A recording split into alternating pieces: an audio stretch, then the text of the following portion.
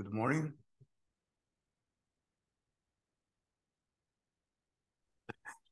Hi, Alex. How are you? Hey, how are you? Good? Hey, Okay, good, good. I just yeah. finished with my lab and teaching process. Okay, perfect. Yeah. So can we start for the lecture this Yes, um anytime. afternoon? Yeah, anytime you want. You wish. It's perfect. Yes, perfect. So Andy, can you start this um event? Uh, yes, possibly. We are waiting for Pak Arif because Okay. he is moderator for today's uh, lecture. So I still contact him to join the the meeting first. Maybe second. Sorry, Professor. Yeah, okay, no. Yeah, perfect.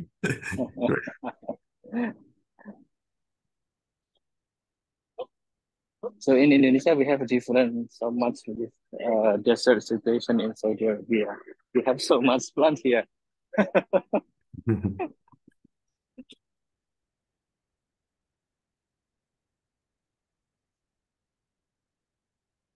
Yeah, cool.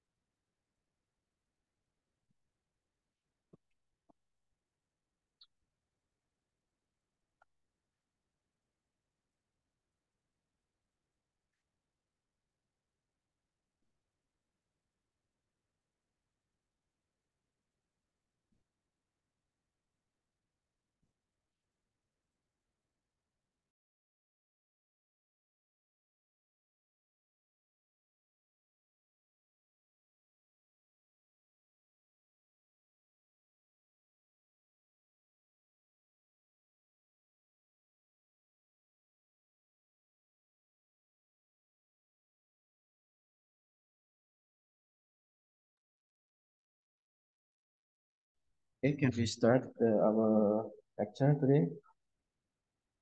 Professor Alexander? Yes, I can hear. Yeah, Oh, perfect. okay, okay, thank you. Thank you. So, so uh, Assalamualaikum warahmatullahi wabarakatuh. Good afternoon, Bapak Ibu, ladies and gentlemen, all the invitation participants. Good morning, Professor Alexander Rosado. Nice to Morning. meet you all today. Welcome to the second session of the three-in-one program, guest lecture in microbiome, with the topic is bacteria from extreme environment as plant growth promoting rhizobacteria or PGPR. And my name is Andi Kurniawan, the uh, MC for today's uh, lecture. So the first, honorable, the head of Department of Plant Pests and Disease, Dr. Lukman Protaini, SP PhD, and then the guest lecturer for today's uh, activity, Professor Alexander Soares Rosado from the King Abdullah University of Science and Technology, and all the lecturers, staff, and students who join uh, today's uh, lecturer activity. So our sequences of today's agenda is the first main session of guest lecture led by moderator Papa Arif Delviawan PhD, and the second is discussion session. So in this session, I encourage the participant to ask the questions, and you may raise your hand and or drop the question in the chat column in this Zoom meeting. And the third is closing by the moderator. So we move, before we go to the main agenda, I will invite all the participants to do the documentation. So for this session, I encourage, uh, I ask all participants to turn on the camera, please. And maybe Mas Dodik, may you help us to take the documentation?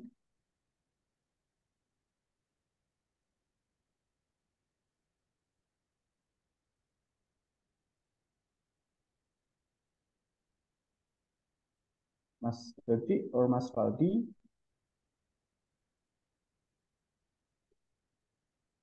Okay, ready to snap. Okay.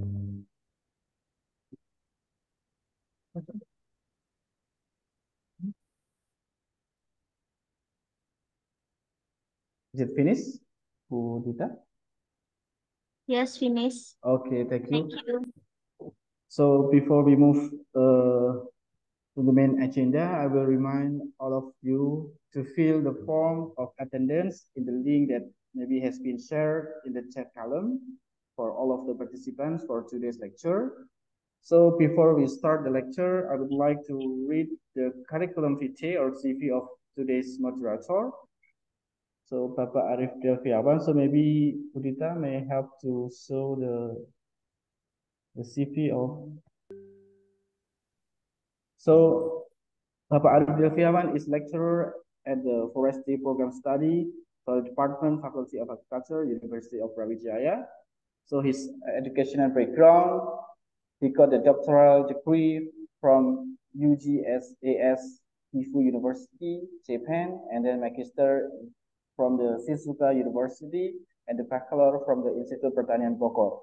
And his research interest is focused on the forest product technology and then bio uh, biocomposite and then biomass utilization, environment and forest resource science, and science of biological resources. And his selected publication is focused on the effect of wood, particle, size distribution on the mechanical properties of wood plastic compost, and then the influence of tiller characterization on the physical and mechanical properties of wood plastic compound. And some awards he got is such as honorable mention in the 55th Canon Photo Contest 2021, and then excellence awards in the 40th NHK World Japan Photo Contest 2021, and then top winner on the Pindle My Travel Story Contest 2021. And his experience is oral presentation in the 15th International Symposium, and then oral presentation in invited speakers at 72nd annual meeting of the Japanese, Japanese Society of Wood Science. So I will hand over this session to our moderator for today's lecture. So Papa Arif, time is yours and thank you. Okay, thank you very much, uh, ladies and gentlemen. I would like to thank for our distinguished Master of Ceremony, uh, Pak Andi, for providing me with this wonderful opportunity with all due respect, I greet you with the universal message of peace. Assalamualaikum warahmatullahi wabarakatuh. Good afternoon, and I extend my best wish to all in attendance today. I hold the highest regard to our department head, uh, Pak Lukman, esteemed lecturers, committee chairs, committee members, and all the attendees uh, joining us for this guest lecture.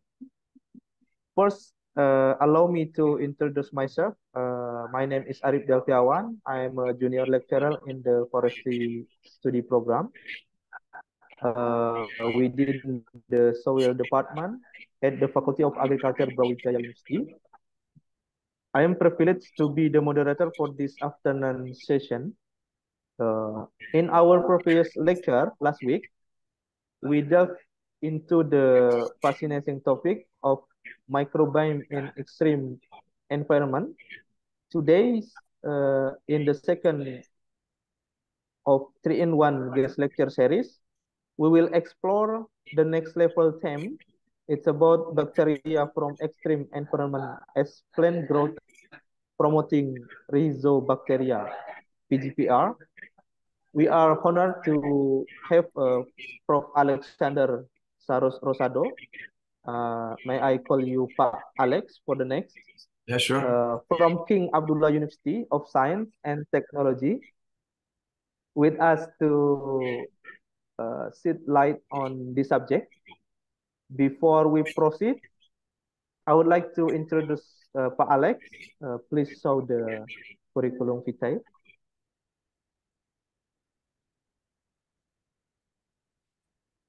Okay, Professor uh, Alex is a graduate from uh, Wageningen University uh, in 1997 for PhD microbiology and for master micro microbiology uh, graduate in Brazil 1989 uh, now he is a professor in King Abdullah University of Science and Technology uh, affiliation in bioscience and environmental science and engineering so that's for uh, introducing uh, Pak Alex uh, for distinguished curriculum vitae. Uh, now I in invite Pak Alex to comment his lecture. You have approximately one hour uh, and the time is yours, uh, Pak Alex. Okay, thank you. Thank you. Uh, thank you very much again. It's a huge pleasure um, to be here uh, once more. And I uh, will take this uh, opportunity to, to share a little bit more about some of my visions and some of recent research there is uh, been going on uh, microbes and uh, particularly in extreme microbes and how can we leverage the power of those extreme microbes trying to uh, foster, you know, a soil and a global framework towards uh, sustainability. I will start sharing uh, my screen.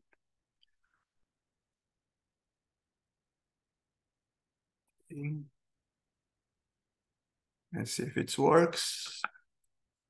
Can you see? Yeah, I think so. Yeah.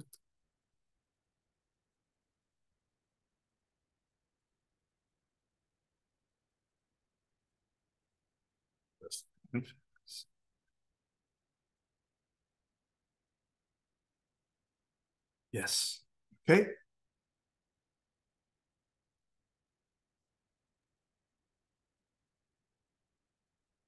Okay, so um, uh, today my idea is to keep again informal, so we can keep our uh, conversation more informal and uh, and I will try to uh, to explain a little bit about uh, how can we uh, leverage or can we uh, use the power of extreme microbes in several different applications, but targeting and focusing on plant growth, promoting rhizomicrobes or rhizobacteria. But I will also um, show some case studies that we are uh, trying to understand a little bit more over here uh, about uh, extreme fungi. And how can we uh, try to understand those uh, very extreme uh, microbes? And how can we maybe apply those microbes in some very important biotech applications include plant growth in several different situations microbes they are extremely important we we Microbial life represents the majority of Earth's uh, biodiversity, and we are just beginning to scratch the surface of this uh, huge diversity that we are now uh, uh being able to shed light on the, the you know the dimension and extension of this uh, microbial diversity that we have in our planet. Um, they are here since the beginning. So the first uh, life forms, the first microbial life forms, the first bacteria or, uh, life forms, they uh, they are here. I mean, uh, since uh, 3.8 billion years ago. So they are quite old, quite ancient microbes. And since then, they are thriving and they are spreading and they are connecting, they are interacting uh, with, with each other, and also allowing uh, the hosts like plants or animals or humans uh, to thrive in this planet, in our planet. And uh, the, the, the, microbes, they are very it's a very uh, huge uh, the diversity of the microbes and we we don't know yet the extension of this micro uh, the, the, the biodiversity of microbes but i can tell you uh, the last global estimates uh, of our planet's biodiversity um, there are some i mean of course those numbers can change they're always changing but the last global estimates um, we can say that we have uh, around 5 to 7.7 million unique animal species. So let's say 5 to 7 or 7 million species of animals. More than uh, 500,000 uh, species of plants. And 6 to 8 million uh, species of uh, fungi. Fungi. And the last estimates uh, would say that we have up to 1 trillion species of uh, prokaryotes, so bacteria and archaea. You know, so it, it's really diverse and it's really huge. I mean, imagine 1 trillion, maybe probably one or more uh, than a, 1 trillion species living and thriving in our planet. So that's uh, still a, a lot of research that we need to, to you know to to pursue to to have uh, you know the real uh, picture of this uh, huge diversity. Um, they and, and, and they are super pretty small, but they uh, can uh, wait a lot because uh, the, the, the our planet's biomass, the microbes represent 50 to 60 percent of the biomass. So if you uh, you know if you wait the whales, elephants, the whole human population, um, our animals and chickens and so on in one side, and you try to put the microbes in the other side. I mean, the bacteria, the fungi, um, and the archaeas, you know, they will uh, be at least the same, or maybe even, you know, heavier than uh, than than than the, the big uh, beans. So we still have a long way to go. A lot of things that we need to learn and uh, to try to understand the microbial life. And uh, when we, and I'm talking about this huge diversity of species in our planet. And the soil, the soil is more, the most diverse ecosystem. Uh, we have the oceans, we have, uh, you know, um, um, the ice, we have um, hydrothermal vents, we have several extreme environments, we have several environments on our planet. But when we go to soil, the soil, uh, it's, it's amazing and it's a very special uh, ecosystem, the soil that we have in our planet, because they're extremely diverse. And most of the diversity that we have in our planet, actually, they come from soil. And it's a very complex environment it's a very complex uh, um, because you have a lot of factors uh, interacting in the soil ecosystem. You have uh, the abiotic factors, of course, and pH and, uh, and the size of uh, you know the the the pores and uh, water content, um, content of heavy metals, humic acid. So you have a lot of factors, chemical and physical factors, and we also have very strong and dynamic uh, uh, interactions uh, uh, occurring between and among those microbes and those microbes in the host, like plants or soil animals as well. So it's a very complex, a very dynamic ecosystem. So it's very challenging to work with soil. And it's amazing. Uh, this is just a marketing, a propaganda of uh, my book, and I, I, I was one of the editors of this. Uh, we launched this uh, launched this book uh, in 2019, and this uh, it was a, a, collaboration, amazing collaboration actually with uh, Dick van Elsas from uh, Netherlands. Actually, Dick van Elsas was my former supervisor during my PhD thesis, so it, it was a very special moment of my career um, uh, to be editing a book, a very important book, The Modern Soil Microbiology, um, together with Dick Van Elsas. Uh, Van Elsas is a, it's a very uh, good friend uh, until nowadays. And also uh, Professor Jack Trevors, a Canadian, uh, very um, known professor in soil science. He's an expert in, um, in bioremediation and in contamination, soil contamination uh, myself, and uh, Professor Paolo Nannipieri from Italy. There is also a very well-known uh, soil scientist. He is working on uh, different aspects of, uh, especially uh, nitrogen fixation and soil biochemistry. And uh, it was a very good experience. So I've been working on soil for a while now. So my thesis actually was on molecular microbial ecology, and I, I, I was, you know, the beginning of my um, passion uh, for the microbiology and the microbes uh, was on a soil. And uh, during uh, my work and my research and my my times as a, a faculty, a professor in, in, in, in, beginning in Brazil, after days uh, for a while in US, and now since uh, three years ago in, in, Saudi Arabia, I've been also working on uh, extreme soils. And that's a huge passion that I have because we have, uh, I mean, uh, the, the first, my, my first experience with extreme soil was in Antarctica. And it's a very extreme uh, ecosystem. So it's a very, you have soils there and the soil quite extreme. You have the, the, the low temperature, you have, uh, uh, you know, um, the exposure to radiation to radiation is higher than in other places. So it's a very extreme environment. And so I, I, I start to dig a little bit deeper into these uh, extreme soils from different, uh, actually not only Antarctica, but some other extreme environments, and become also a kind of, uh, you know, parallel passion that I have in my, in my lab, in my group.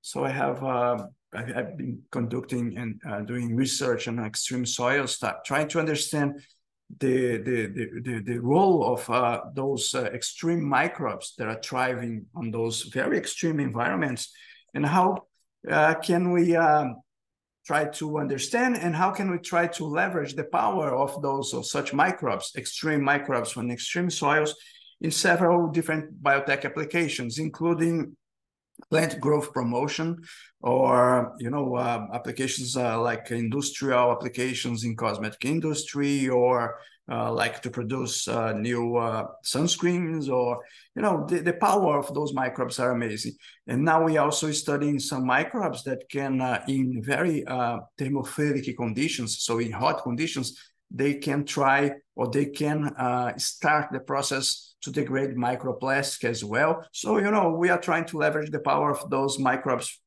for, for different applications. And uh, this is the question. I mean, what is extreme? So we always uh, think about an extreme environment when uh, in our human perspective. So what is not so good for us is considered uh, as, uh, as an extreme environment. But for microbes, there is no such thing. Uh, I mentioned this in the last seminar, but it's good to stress this point. We still don't know, I mean, the limits of life in our planet. So for the high temperature, um, we have thermophilic, thermophilic microbes and hyperthermophilic microbes. And they can thrive in temperatures like uh, 121 degrees Celsius. So this is the, the, the record that we have nowadays but the scientists they they they believe the experts in thermophilic microbes they believe uh, there is still uh, um, you know that should be microbes actually thrive in even higher temperatures so um, thermodynamically is is possible so why not uh, low temperature um, there are microbes um, uh, thriving i mean not only surviving i mean thriving they need. They are happy uh, when uh, we have um, like uh, minus 20 degrees Celsius. So in Antarctica, we have uh, some bacteria uh, um, uh, and, and, also some yeasts and fungi actually working metabolically active at minus 20 degrees Celsius. So this is, wow, uh, usually we uh, use this temperature in the fridge, uh, you know, to frozen our samples. But uh, for such special microbes, the psychrophilic, this is uh, it's, it's a paradise. I mean, it's it's super uh, cozy environment, and so on. We have microbes that can thrive in a very or resist in a huge doses of radiation, um, high pressure, um, microbes that can thrive and survive in, in deserts, so uh, they can cope with uh, um, very extreme drought conditions. So they are very interesting uh, uh, group of microbes, the extremophiles. And they have a huge potential for uh, several uh, uh, biotech applications, as I mentioned before. And one interesting thing is that doesn't need to be a soil or a hydrothermal vent or a hot spring or Antarctica to be considered a stream in extreme environment. Inside our body, we have some particular extreme environments in some different places, like uh, our stomach. It's a really low pH environment. And this is actually quite funny because I have uh, colleagues in, uh, I have a, a, a, colleague in US and actually he's uh, he's an expert in astrobiology so he's studying you know extreme microbes and how uh, the life uh, could evolve on our planet and maybe how could be life on mars surface or some other extreme planets or moons and he's not uh, isolating microbes from uh, hydrothermal vents or hot springs or uh, deserts or something like that he's actually studying microbes on our own body and try to understand, you know, these uh, connections with extreme environments. That's so interesting. I mean, extreme is everywhere. And the microbes, they are here since the beginning. I mentioned this before. Um, they are very important players in our planet, especially now that we are going towards the sustainability that we need to cope with climate change. We need to cope with all those changes that, that we are facing nowadays. And the microbes, they can uh, they, they regulate the major biogeochemical cycles on our planet, on Earth. And uh, they are so important, the microbes, that uh, even space agents like NASA, the Chinese program uh, in India now, and uh, here in the Middle East, uh, the Saudi, there, there is now, we have now the Saudi Space Agency, we have the Emirates also investing heavily in uh, space um, research. And the microbes, the extreme microbes, uh, they they they, they can be used as uh, uh like uh, the production of uh, because they have the biogeochemical activity here in extreme environments, and their efforts to discover life on other planets or moons, and so they maybe can provide the biosignatures, you know, that we can try to search uh, and NASA is trying to do this. Uh, the Chinese program, astrobiology program, is the same. Now India as well. You know, so they, they are very interesting, very interesting. And by regulating uh, global uh, nutrient cycles and greenhouse gas exchange and uh, also disease transmission and protection, um, the microbiome and the microbes on our planet provide a kind of essential life support system um, you know, that actually uh, uh, permit our existence in our planet. So they are extremely important. We cannot think about one planet without the microbes because they play the major and the most important um, uh, biogeochemical cycles in our planet. And uh, I, I, I, must say that a functioning Earth without a functioning microbiome is something that we cannot imagine. I mean, it's unimaginable. It's impossible. And uh, so we must include the microbes and the microbiome into the equation of uh, towards a global sustainability. So this is a period. This is super important. And I always like to stress this point. And those extreme microbes, they have, uh, I mentioned, a lot of uh, very important maybe uh, potential uh, applications in several different different um, fields, including agriculture. And soil, as I mentioned, is a very complex uh, environment. You have chemical, physical, and also biological factors in constant interaction. So it's a very, very uh, dynamic system and it's a very complex. It's very difficult actually to study uh, soil uh, diversity, especially when we focus on on, on microbes. Uh, and we can uh, try to understand the complexity of soil, um, targeting um, microbes and isolation and cultivation in the lab. But nowadays we have the metagenomic tools that I mentioned in the first seminar, and you know well. Uh, so now we can target the genomes of those microbes that are thriving and living in soil samples and in soil environments, including the extreme soils. So now we can have more information. We can shed a light uh, um, into this, uh, you know, uh, dark box, this black box that is soil.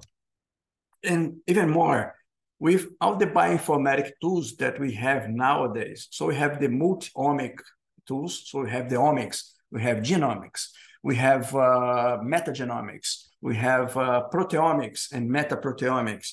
We have metabolomics, and you know, in the metabolomics you can use in isolates, or you can also target now metabolites in an ecosystem. So we can extract those metabolites and try to uh, to have a, a, biological information from that. And this is quite challenging, I know, and it's uh, difficult, but now we have tools that we didn't have uh, like few years ago. So we have very special tools that we can now start really dig deeper, literally, into soil ecosystem.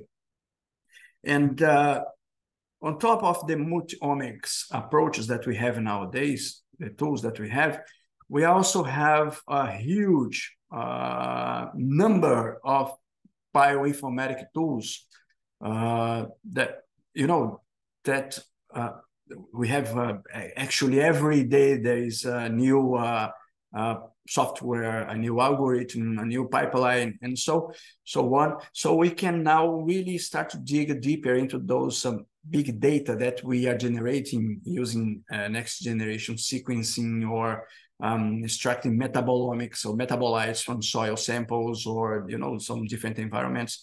And now we can try to put some order into this uh, huge uh, framework of uh, this uh, amount of information that we have nowadays. So we can try to organize this information, use the pipelines and bioinformatic tools. That is also uh, improving every day, daily, and we can now try to understand the you know metabolic network or the, the, the interactions between and among those microbes and also those microbes and uh, the hosts, including the plants that can thrive on, on different ecosystems and soil systems. We can also understand now uh, the function of those uh, microbes and the interactions uh, between microbes and between microbes and plants, among microbes and plants. And uh, so, so it's a very interesting moment. Again, it's always good to stress that it's not simple because when I'm uh, here talking about you know all those multiomics uh, and now bioinformatic tools, uh, you may say, "Well, okay, so that's easier." No, it's not easier. I mean, it's extremely challenging. Uh, soil is super challenging ecosystem, and when you uh, think about extreme soil, is even more complex. It's a super uh, extreme environment and uh, you can have a low biomass, so the, the number of microbes are not so high and uh, and this will cause troubles when we think about the DNA extraction to perform metagenomic uh, uh, studies. So you know, so it's more complex. You have you add layers of complexity and and and, and difficulties uh, when you go uh, from a soil that is difficult to extreme soil. But in soil ecosystem, you have environmental factors, as I mentioned before, uh, biotic and abiotic. So you have the plant, you have the, the microbes, especially the rhizobacteria that is the target of my talk today. And uh, you have pat pathogens as well in soil. And so this is uh, really, you know, uh, it's like a movie. They always uh, play different roles, roles in this uh, system. And sometimes we have a good microbe winning the prize but sometimes if you have, uh, you know, uh, unbalance in this system, you, you can have the pathogens uh, being the, the winners in this system. So this is a very tricky environment. So this is why I, it's so important to have uh, those molecular tools um, to, to try to shed light on, on, on the interaction so we can really try to understand more and more uh, I like this uh, the, the concept of rhizosphere. Rhizosphere is a very important hotspot of uh, diversity and also uh, actually in a function. Uh, when I think about metabolically uh, active microbes, we go to the rhizosphere that is a hotspot. And uh, the first definition of rhizosphere, I think you know super well, uh, was proposed by Hiltner and uh, in 1904, 04. And actually, in that time, he didn't know about the microbes that we have in soil, only the rhizobia and the nodules that they can be can be formed in, with soybean and rhizobium microbes. And so this was what they named um, or termed as a rhizosphere in that time.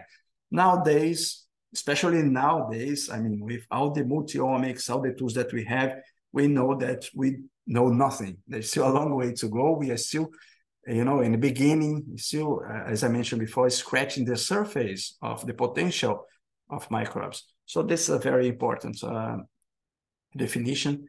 Um, you have the root system, and uh, in this, uh, there are several different definitions, but I like this one uh, that we can consider the rhizosphere.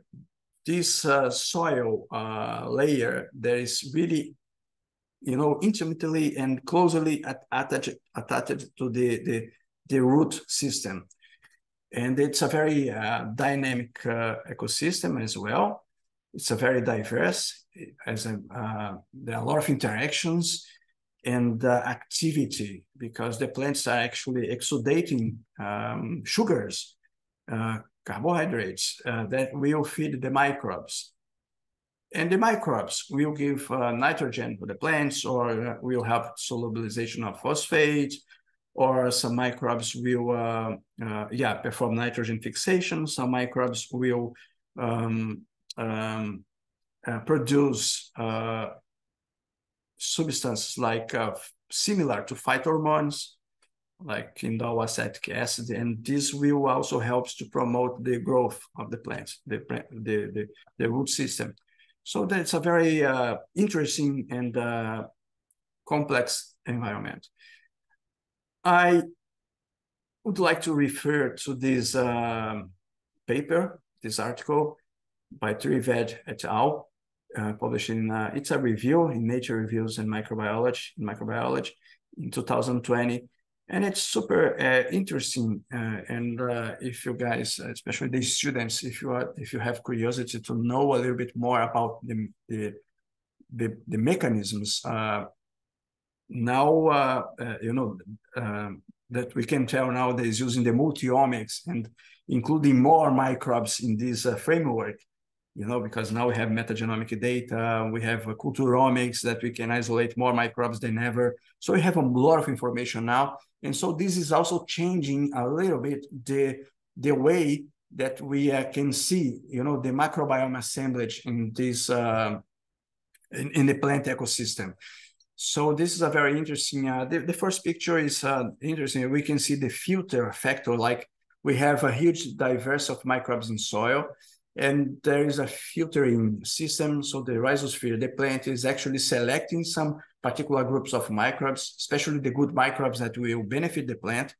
Sometimes you have some issues in the soil system, and so you can have more pathogens coming to the system, but I mean, this is another situation.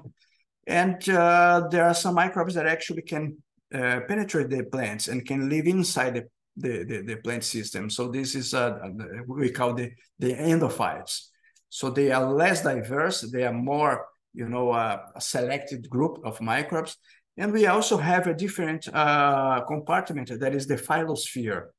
So the microbes that can live on the leaf uh, uh layer of the plant.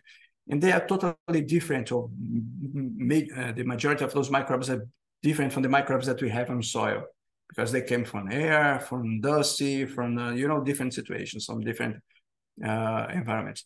And that's interesting because so now we can try to understand a little bit more about those different microbial groups and how they can uh, communicate with the plant and how the plant is actually selecting or inducing a process like uh, biofilm formation that will lead a better, you know, capacity of colonization of uh, such microbes the plant system and uh, some microbes also are able to uh, colonize the inside plant, the interior of the plants, and so become the endophytes.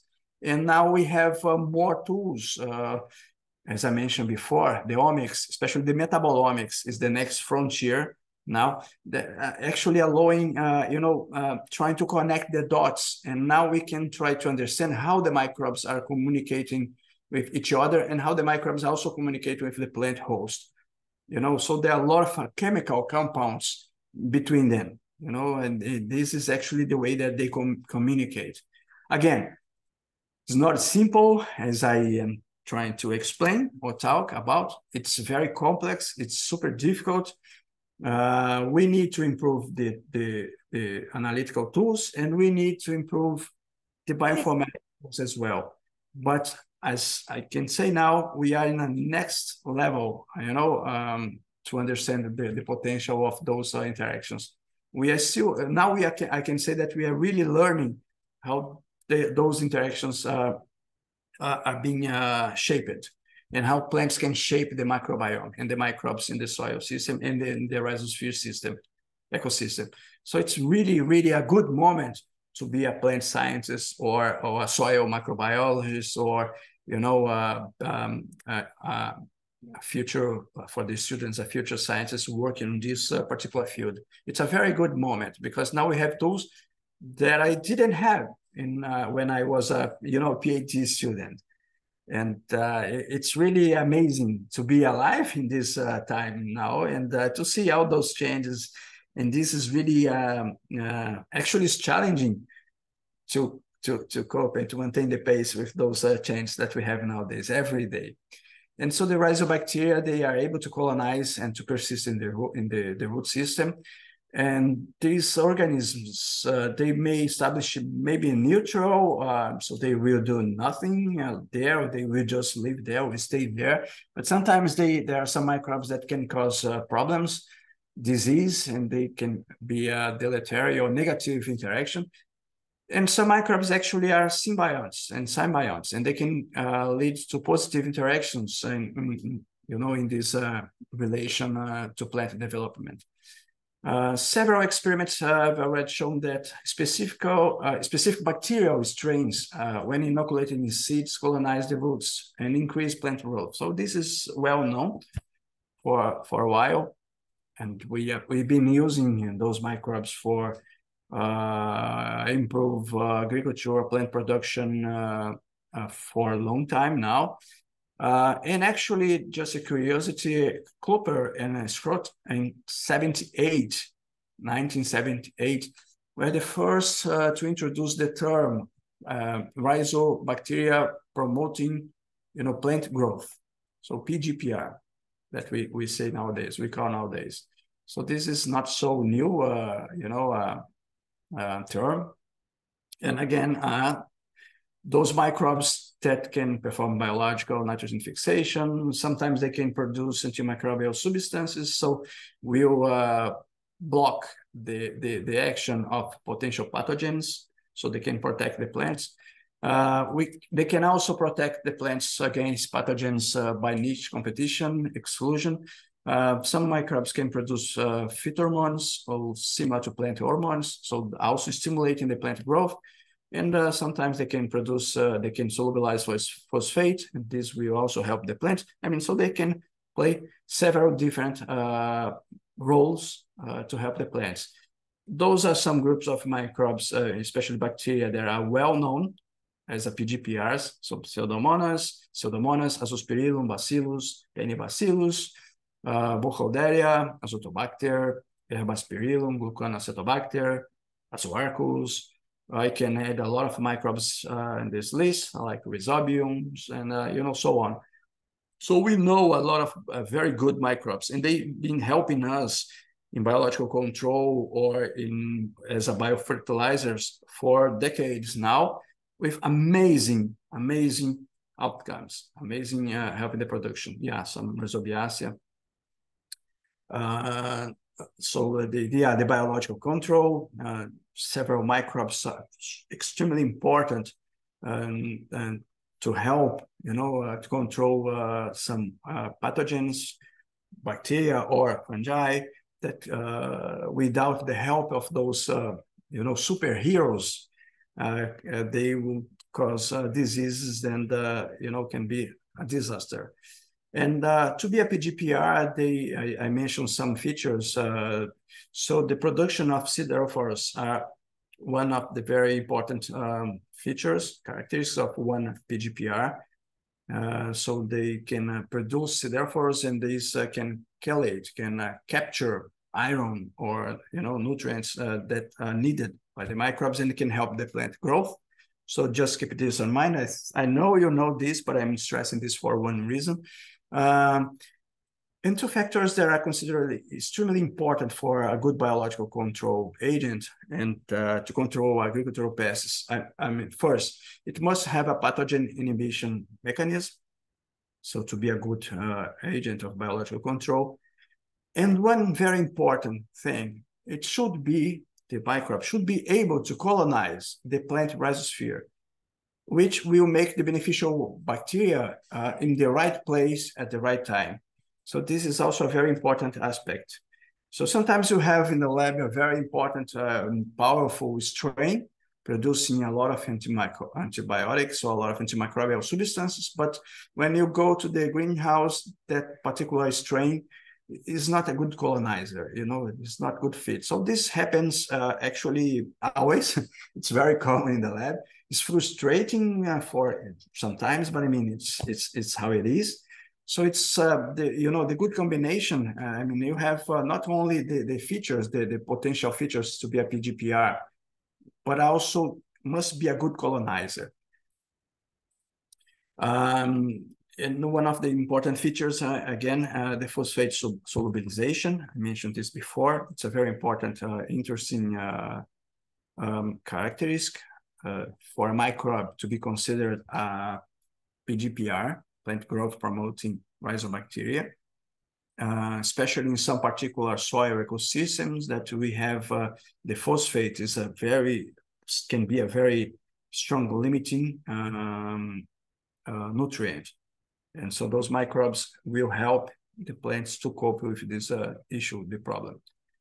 So, uh, uh, and I mentioned before, and I will stress again here, uh, the production of plant hormones. So the production of plant or uh, plant growth promoting substances like uh, auxin, acetic indole acetic gibberellins, cytokinins, so there are several microbes that can produce uh, those uh, compounds, and this will, of course, help the plant. And this is also very important characteristic of uh, characteristic of uh, a good microbe, you know, for for um, uh, uh, to be used as a PGPR. but what affects the most? What is the most important factor? The soil or the rhizosphere? I mean, there is no answer simple answer for this question. Um, some authors suggest that soil type and the conditions have a greater effect on the microbial community than the rhizosphere effect. So there's still a school or some scientists that believe uh, uh, suggest that the soil type is the most important factor. Uh, and that maybe that's the case. I mean, the soil affects the community, the microbial community, that is actually modulated by the rhizosphere. And so this is, you know, the tenants now. And I refer again to that paper that I mentioned before from 2020, uh, that, that review in Nature Reviews uh, Microbiology. Uh, you know, combining several different uh, new publications or recent publications talking about the microbial diversity, and, and especially now that we have the multiomics and also the metabolomics. So we can say that actually maybe the soil actually is affecting the microbial community, but uh, the rhizosphere, the plant, will modulate, you know, this microbial community. We'll select some particular groups of uh, microbes. And I I I, I want to give you a few examples, and I want to invite you uh, to think outside the box for a while now. We can talk about the application of those extreme microbes in uh, agriculture, and I will go there. But I want to uh, uh, um, show you guys a case study that we applied in a mangrove uh, plants, a mangrove ecosystem but using the same principles, uh, inoculation of with good microbes and uh, good PGPR microbes, and also combination with some other microbes, a consortium, and how we got some very interesting uh, results. I, I, I, the first seminar, I just showed one or two slides, but now I will go a little bit deeper into this um, application. So uh, this is a very interesting case study. The mangroves, they are super important ecosystem uh, ecosystems. They they um, they can actually fix carbon or you know uh, in a more efficient way uh, than um, forests like the rainforest, the Amazon forest in Brazil. It's a very powerful ecosystem. But when you go to the mangroves, they can actually fix uh, carbon. That means that they can retain carbon in a uh, uh, in a more efficient way than um, the rainforests. And uh, you are lucky because Indonesia has the you know biggest extension of mangroves uh, around the world. So you have a lot of very important ecosystems, the, the mangroves. Um, they are very important for tourism, for food production. 30 to 50% of mangrove forests have been uh, lost in the last uh, decades. So it's a very uh, treated environment. It's a very important because protect the coast, uh, prevent erosion, stabilize shorelines, also uh, reduce uh, uh, the, the, the impact of storms. So protect our coast is a nursery of shrimps, fish species, some other animals, crabs, and so it's a very important ecosystem. But we are running against the time because they're they you know we've been destroying our mangroves in a very accelerated rate so we must deal with that. And on top of those uh, you know uh, destructions and deforestation we can add uh, also um, contamination. And uh, for instance the, the, the, it's a very common place to have uh, oil spills you know? And why is that? Uh, most of uh, the, the, the, the, vessels, the, the, the ships and uh, transporting uh, not only oil, but any cargo, they go in the harbors, the ports, the harbors, uh, they usually are located in, in, you know, in regions uh, with mangroves. And so you have a very explosive combination. You have a very intense um, um, traffic of uh, ships and vessels. Uh, and you have also a very sensitive ecosystem, a very important ecosystem, the mangroves. And sometimes you have uh, problems uh, with spill. And the mangroves are so important that we uh, built a global research network that we call Mangrove Microbiome Initiative. Uh, and the idea is to catalyze rapid development on, uh, of uh, microbiome environmental applications and try to understand more, you know, and better the, the diversity of mangrove plants and the mangrove uh, microbiome um, uh, compound into this equation. So this is a mangrove microbiome initiative. We uh, we launched this in 2019 officially with this publication in mSystems. Uh, the MMI, Mangrove Microbiome Initiative, is uh, I'm leading this uh, together with uh, Jack Gilbert from UCSD San Diego, and we have some other colleagues from KAUST and US, uh, and now it's a global network, as I mentioned before. So we have people from um, um, China, India, Saudi Arabia, Emirates, um, Europe, uh, Brazil, Panama, you know, it's a worldwide uh, initiative. I think we need some people from um, Indonesia. This would be amazing to have experts in mangrove ecosystem, especially interested in, in the mangrove, in the, in the mangrove microbiome. And uh, it's an ongoing project. We have, uh, you know, uh, virtual meetings, and we are planning uh, in-person uh, meeting um, next year and if you have uh, curiosity, just try to. We have a new website now for this initiative, but it's still uh, it's still uh, in the final uh, know uh, touch. So we need to polish a little bit more. But should be launched the, the new website pretty soon, maybe next week or so. But if you are, if you try, uh, if you are curious, you can access this uh, link, uh, BMMO MicrobeNet, and uh, there are some information there and how uh, can you join, you know, the, the this initiative. And we exchange protocols. We are planning to apply uh, for grants together. Um, we are working on publications, you know, so it's a very interesting forum to discuss the importance of uh, the microbes that are thriving in, in mangrove.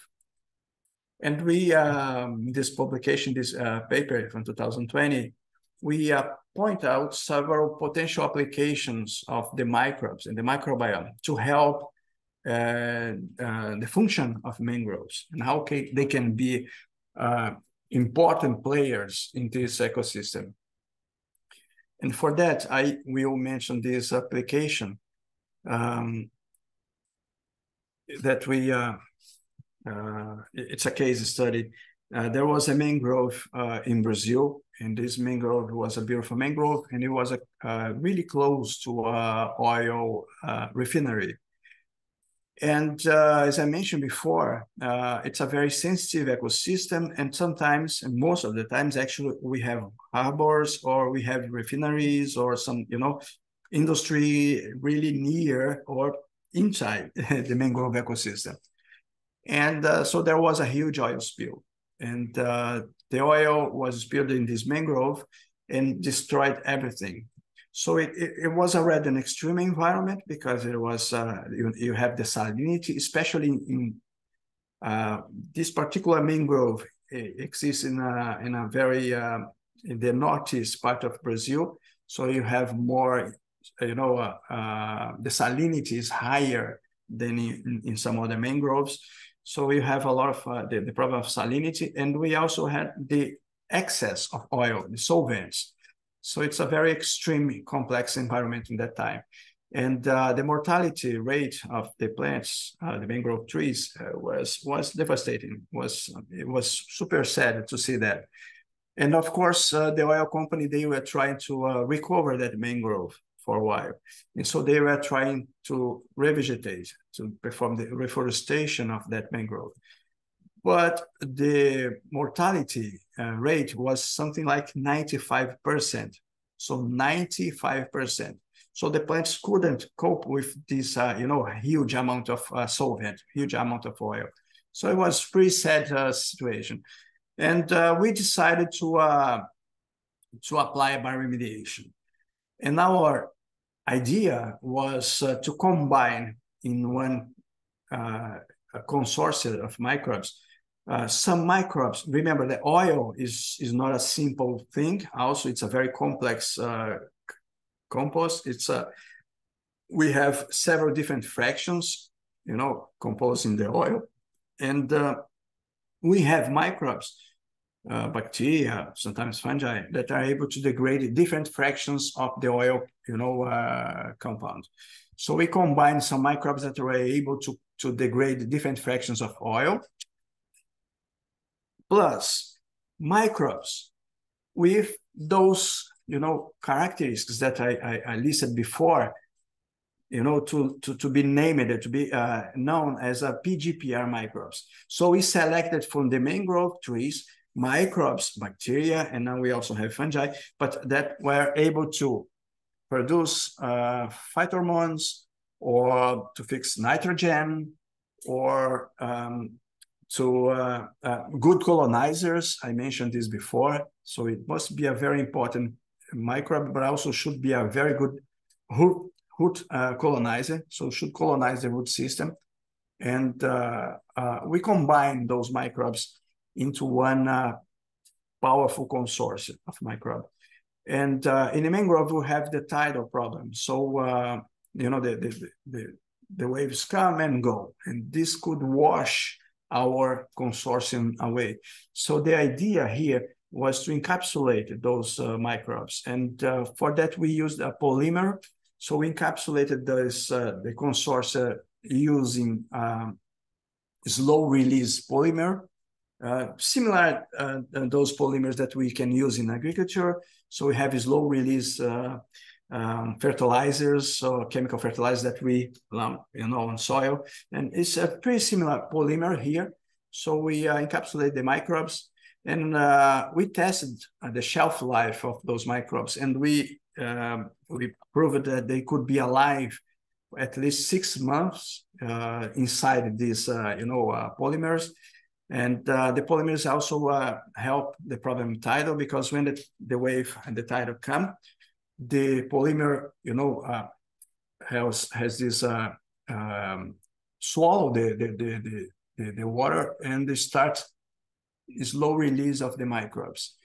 And when the tide they, uh, goes away, went away, um, the polymer shrink, protecting the microbes against uh, radiation, the solar radiation, the you know the the heat.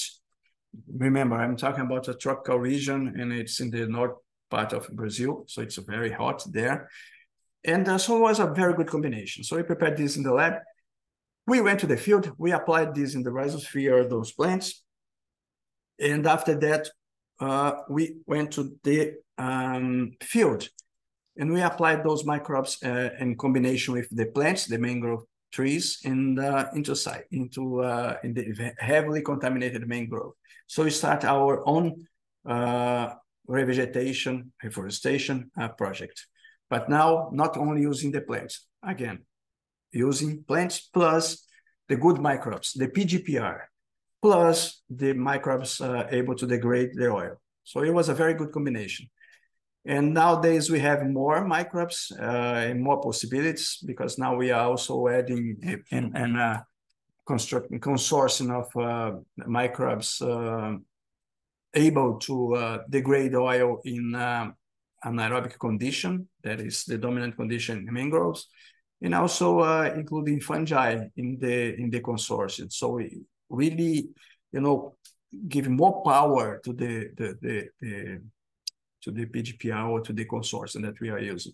We tested the effects of this consortium using several different uh, parameters. So that's what we call multi-parametric monitoring. So uh, plant development, uh, um, oil degradation because it's a oil contaminated mangrove, microbial community, the profile of microbial community. So, you know, so we have a multi-parametric monitoring uh, panel so we can know and we can check everything during the process. And I think this picture is the best uh, example. So we can see before and we can see after the, the our bioremediation, including plant growth promoting rhizobacteria in the consortium. So it's it's it's a visual. One important thing here. Um, if you have an oil spill in a mangrove ecosystem, and if you leave the oil there, you do nothing. If you do nothing there, you're not spill again, of course, uh, but the oil, uh, the mangrove will take 20 to 25 years to recover from that spill. So it's a really long time process. But using the extreme microbes, using the powerful plant growth promoting rhizobacteria, you know, those microbes that we selected, plus the microbes that were able to degrade the oil fractions in this uh, particular uh, uh, contaminated ecosystem, we were able to recover the mangrove in 10% of this time. So it's not 25 or 30 years, 20 to 30 years. We were able to, to recover the mangrove in two years and a half. So it was a really game changer in that time. So we have a patent on this process. We have uh, several publications. There is still several publications uh, coming with, uh, with, this approach. So it was a very successful application of, uh, you know, the extreme microbes to help one a very important ecosystem. We are now here in Saudi Arabia applying the same uh, uh, principle. We have a project now trying to accelerate the plant growth of the mangroves here uh, testing probiotics or testing the good microbes, plant growth promoting rhizobacteria. Um, here, we are not in Saudi Arabia, we are not targeting, uh, for now, we have also the potential to do this, but I mean, uh, but we are not focusing on the oil spill um, because most of the, the spills uh, that they have here are in the, the desert regions, not really in the mangrove regions. But uh, there, there is a huge uh, program now in Saudi Arabia that is uh, aligned with the Saudi Green Initiative. And they are actually already planting thousands of mangrove trees, try to recover and actually to increase in 30% the mangrove ecosystems here in Saudi Arabia, not only in the Arabic Gulf, but in the Red Sea region as well. And uh, so we are testing ways uh, to accelerate the process. And uh, remember, um, this is also interesting. The mangroves here in Saudi Arabia, especially in the Red Sea region, they are very extreme mangroves. They are not like the mangroves in Indonesia or India or in Brazil. In Brazil, that we have a lot of uh, you know um, rivers and we have uh, apport of nutrients. You know, it's a very rich environment. Here, uh, especially in Saudi Arabia, they don't have um, um, rivers. You know, and so the mangroves are actually growing and thriving in a very extreme environment. Uh, the salinity is super high uh, the radiation level, because you have a lot of sunlight, you know, directly in the mangroves, are extremely high, but still have very interesting and beautiful mangroves, unique mangroves uh, thrive in those environments. So we are trying to understand the, the interactions between those mangrove trees and microbes, and how can we leverage the power of those microbes to use as a probiotics, so to increase the plant growth. So we are studying the mangroves from uh, northern region in Saudi Arabia. So those are actually the most extreme mangroves that we have here in Saudi Arabia. Amazing, beautiful region, but uh, uh, uh very extreme when you think about salinity and temperature and uh, you know these uh, situations, conditions.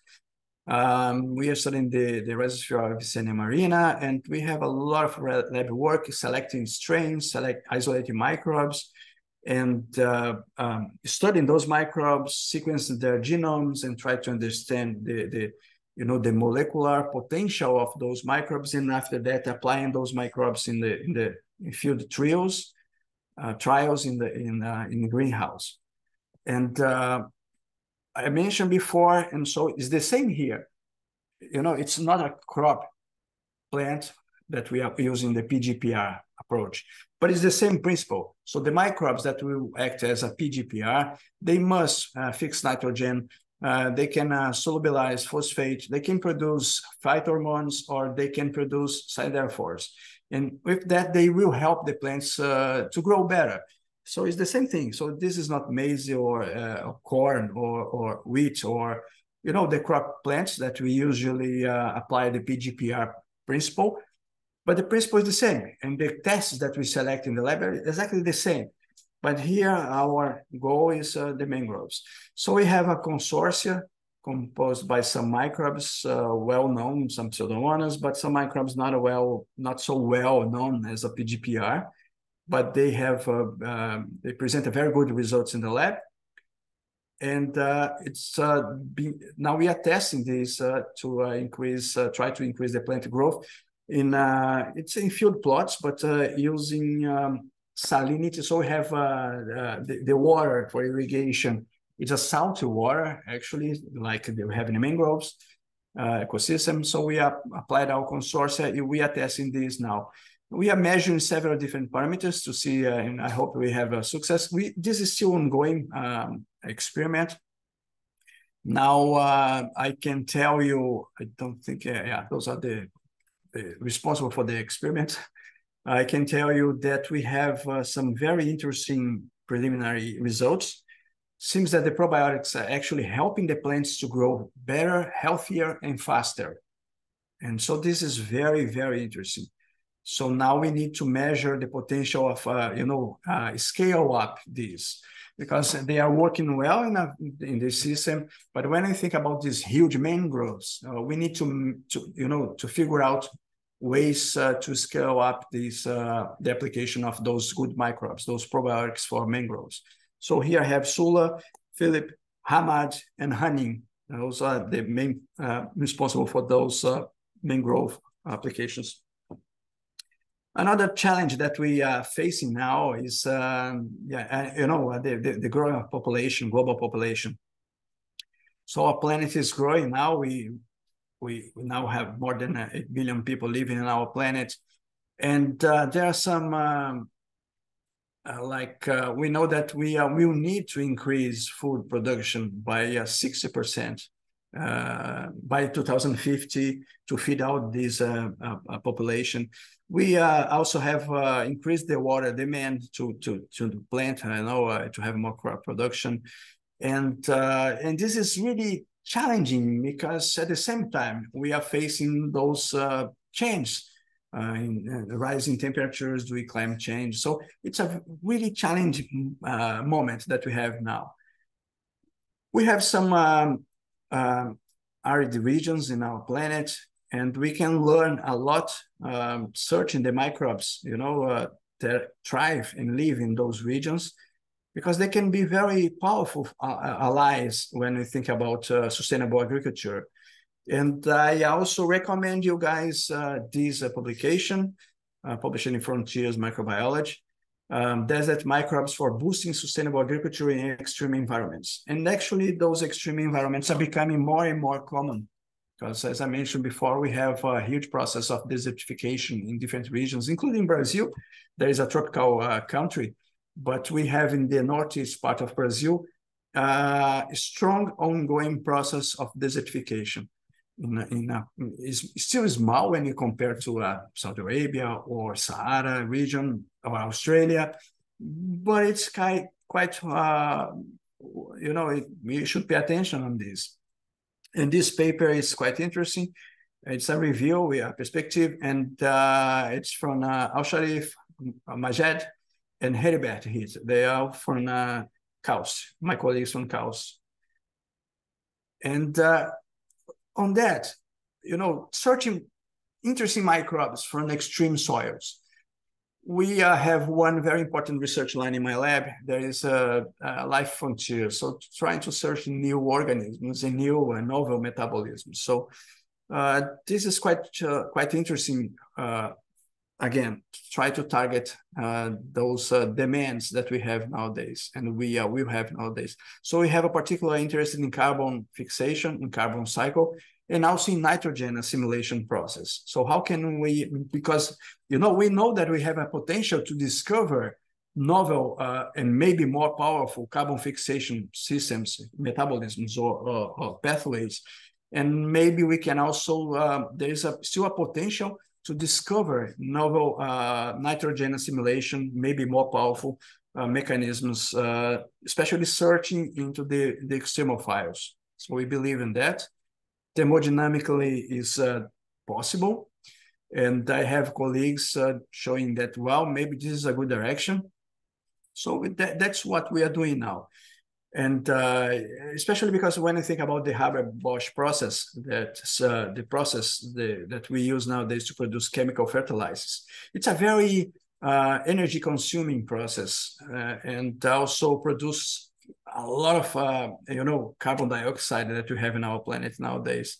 So generates three percent of the carbon dioxide. So it's a very you know uh, energy and uh, uh demanding uh, process. So we, we, it's interesting to have uh, maybe alternatives in the future.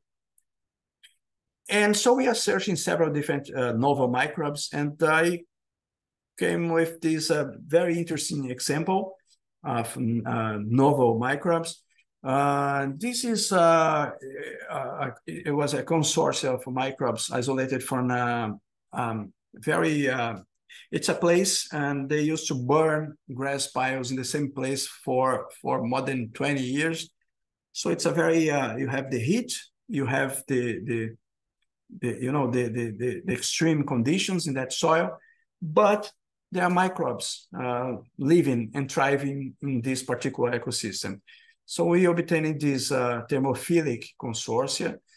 Um, those microbes uh, grow, they can grow up to uh, 65 degrees Celsius. They cannot grow below 40 degrees Celsius. So they are really and real uh, thermophilic microbes. We study, of course, uh, the metagenomic composition of this consortia, we also uh, and the, and also the the potential uh, function of those microbes, and we noticed that there was one particular microbe in that consortium that could be very, very interesting based on the metagenomic data. So we try to isolate that particular microbe. And we actually rely on the metagenomic data. Remember, metagenomic means that you don't have the isolate. We have we uh, have only the genetic information obtained from that uh, from a particular environment.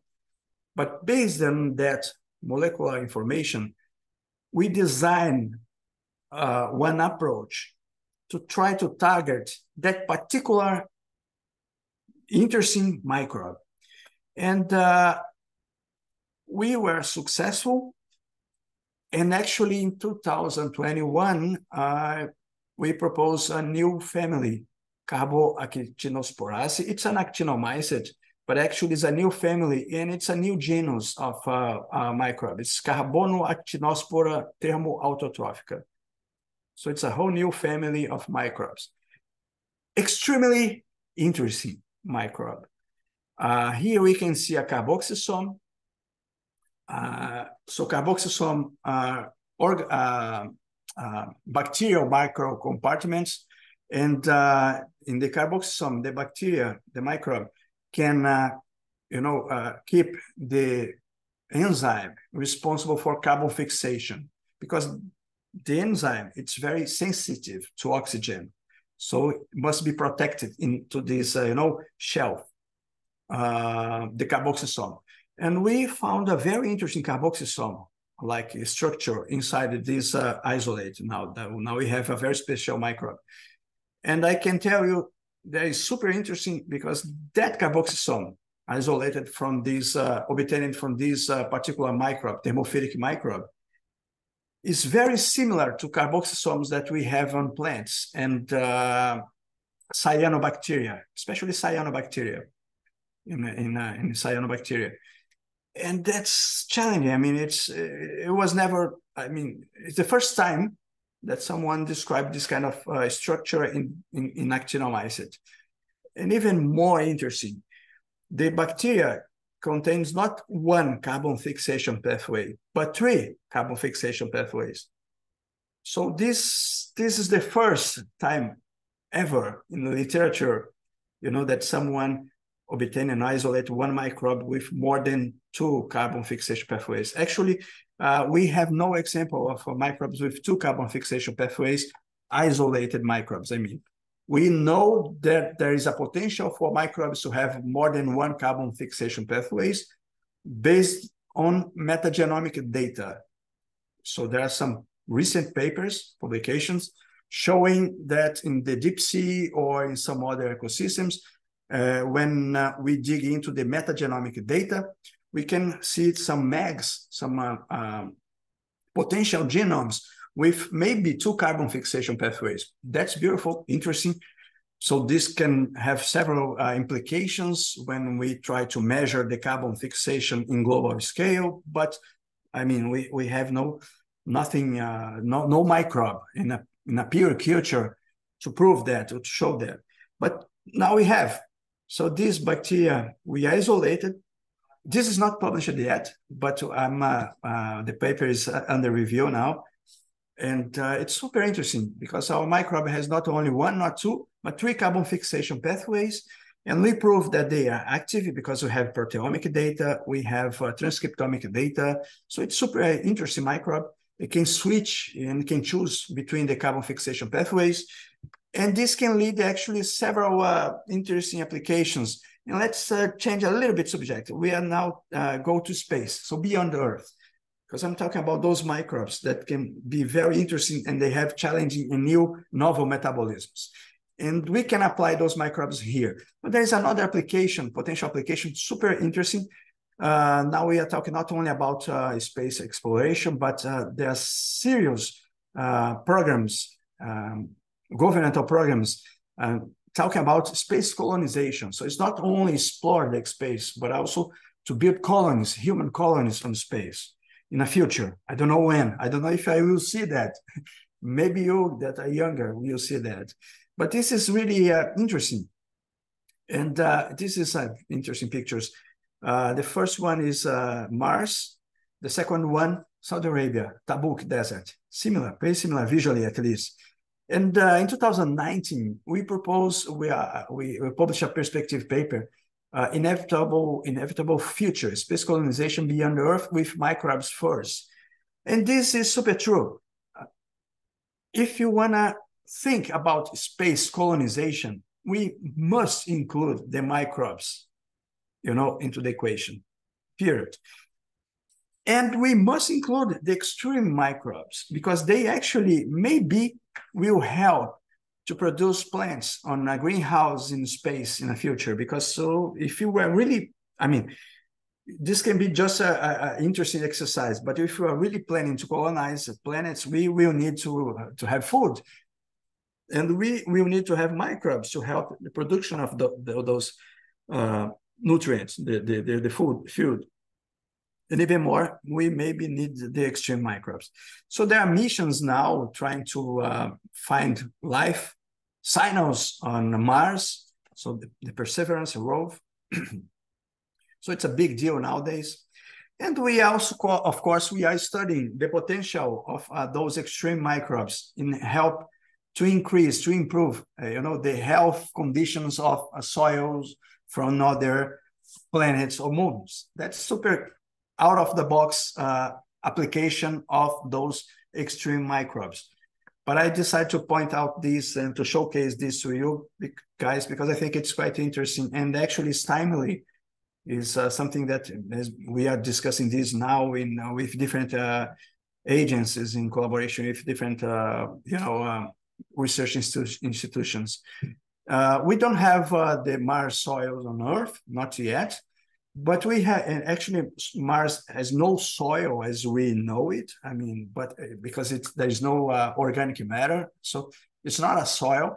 It, it's more like a regolith you know? But we based on the, uh, the data from previous uh, rovers a company in us is uh, uh, selling this mars simulant regolith so we are testing some of our extreme microbes isolated from extreme environment from Saudi Arabia into this uh, regolith, in this Mars simulant. And we are trying to see how they can improve um, the soil conditions, you know, and uh, that could be maybe in the future lead to application of this Mars regolith as a substrate for plant growth on, on Mars, for instance, in a, in a human colony on Mars. Uh, we are building our Mars simulator chamber. So we can not only have the, the, the Mars regolith, but we can also simulate the Mars uh, condition. But of course, if we are thinking about plant production on Mars or I don't know some other place, we uh, will need to rely on on greenhouses, special greenhouses. But we are trying to challenge the best. One good good good example that we have a similar approach here on Earth of the desert biocrust. So we have a kind of skin that protects some regions of the desert regions.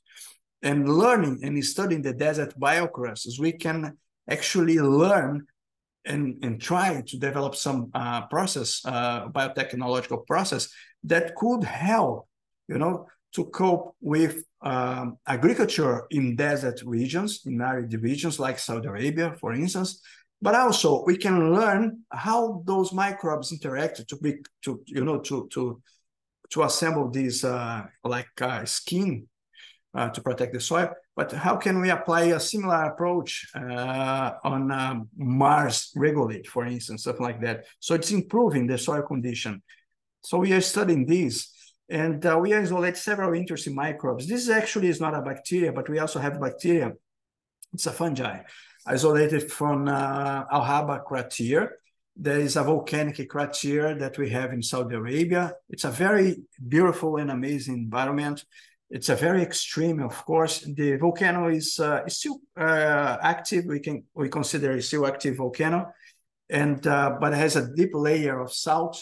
You know, so salinity, uh, drought, and uh, heat. it's super hot there, and but we have thermoph thermophilic microbes thriving in such an environment. And so this uh, fungi was isolated and we tested in the lab. It's a new species uh, fungi We are studying uh, the, the it's a genome now. It's a new species, and we also studying the metabolites that this fungi is uh, being uh, is producing when we inoculated the Mars simulant, the Mars regolith with uh, this particular fungi, and we are trying to to see how can we improve the soil, the regolith quality, you know, that maybe in the future could be used as a substrate for plant growth. And uh, yeah, and the metabolomics uh, shows uh, that, that, actually uh, there are some very interesting uh, features. So the, the, this fungi can uh, survive and can thrive in this Mars simulant and actually is producing several different substances, including siderophores that remember is one of the important characteristics as uh, for a plant growth promoting microbe. And uh, we are still digging into this uh, more, but it's interesting because it, we can see the potential to use extreme microbes to improve uh, soil conditions, health uh, conditions of soil, the conditioning of soil. That can be used actually here. It'd be actually easier on uh, arid ecosystems like soil from Saudi Arabia but in theory at least, uh, could be also uh, applied beyond Earth uh, when we think about space um, colonization. Uh, this is the student, Aleph, is a PhD student working on this uh, more astrobiology related uh, study. And I'm going to my final slides. So just to finish, I again want to uh, talk about this uh, publication from Heribert's uh, Hirt's uh, group. Uh, it's a very interesting uh, perspective paper. And it's the same principle that we apply from those extreme microbes that can be used on maybe Mars colony, colonization, for Mars colonization, but they can also maybe be used and apply it in the easiest way because we are here on Earth uh, to increase, to improve uh, a sustainable agriculture in uh, extreme environments, in desert uh, regions. And uh, there are several interesting applications and uh, we can see the way that those microbes are helping the plants to cope with like salinity or water stress. That is the main problem here in, the, in these arid regions. So there are several uh, publications and, and actually uh, actual um, products showing that uh, microbes, bacteria that were isolated from desert or desert plants can be applied with very successful rates to improve, you know, crop production uh, with more extreme environments or more arid environments with, um, you know, we have more salinity in the water or the water stress. So we, we can go grow plants with less water than usually plants uh, will need in some other uh, places. And there are several uh, uh studies showing the mechanisms, um, how the, those microbes are helping those plants to cope with stress. And this is another paper from another uh, group of colleagues, uh, also here from KAUST, Mark Tester, Kyle Larson, and Leffers. also very interesting so, you know, especially when you think about um, extreme environments or arid environments like Saudi Arabia or Middle East or some other regions, uh, if you combine the power of those good microbes, the good microbiome, plus novel approaches, novel technologies, uh, you have, you know, the sky is really maybe not the limit. We can go even beyond. So that's that's the, the reason. I mean, we can have uh, greenhouses, uh, modern greenhouses in the desert that can be actually um, using uh, solar panels, and uh, so you can have, you know, uh, the temperature can be controlled inside the greenhouse. You know, so there are several technological advancements that will help increase the production of crop production in our planet. And the same approach could be actually adapted and uh, we will need of course a lot of advances but i mean could be used uh, in space exploration and i will finish with uh, yeah some good uh, pictures beautiful pictures from the saudi um, extreme landscapes. So uh, some desert regions and also the Red Sea. That is also very interesting in extreme environment. And again, this is uh, my website or my group, uh, Twitter, and uh, my email. And I'll be more than welcome to uh, answer any question if you have. And thank you again for this uh, opportunity to talk about extreme microbes and the potential of application. Thank you.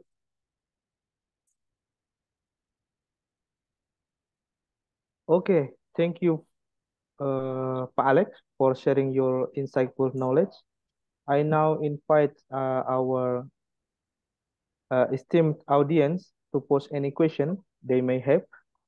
Please uh, use the raise hand feature or the comment feature within the Zoom application to ask your question. Do we have any question, please?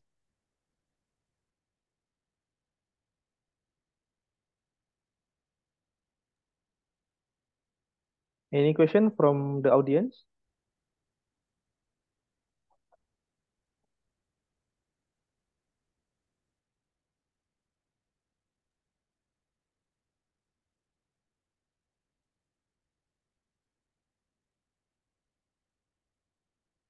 Okay, please, Ali Budi Kusuma. Time is yours. Okay. Hello, Alex. Hello. Hey, hello. Hi, hi, nice to see you again. Okay, uh, yeah, my name is uh, Ali. I am from United Nations.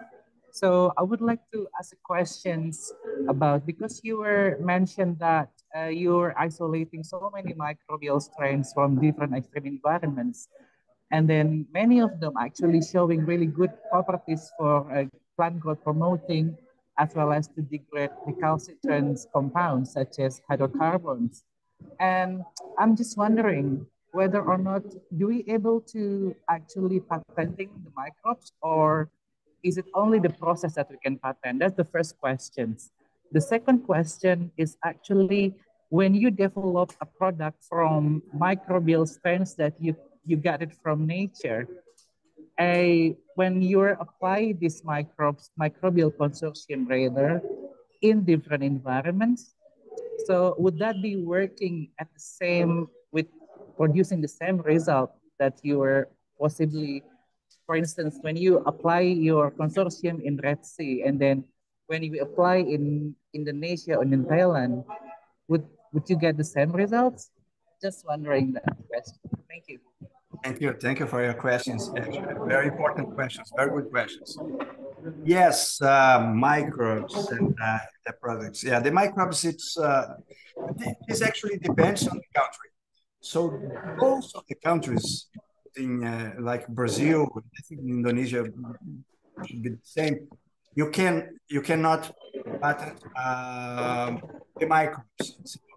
You can patent the process.